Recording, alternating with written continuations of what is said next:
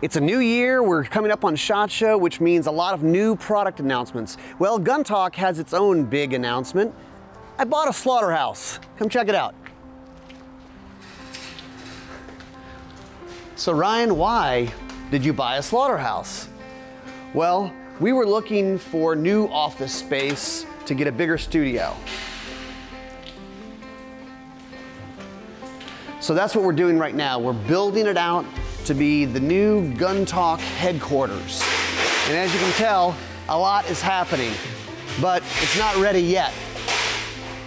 We're gonna have bigger spaces in here for more people, more editors, bigger studio, but also classroom, a 4,000 square foot shoot house, and a whole lot more.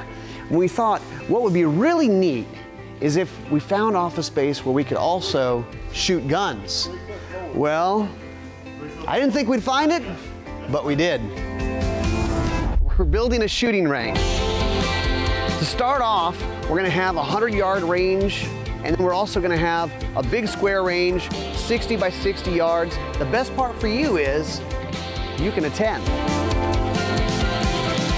So this shooting range, start out, it's gonna have a 100 yard range and a really big, nice square range, about 60 yards by 60 yards. What does that mean for you guys? Well, it means we're gonna have events and classes from some of the best shooters and trainers in the country coming to Gun Talk headquarters and you guys can come and attend that. So Follow along on our progress. It's going to be really fun.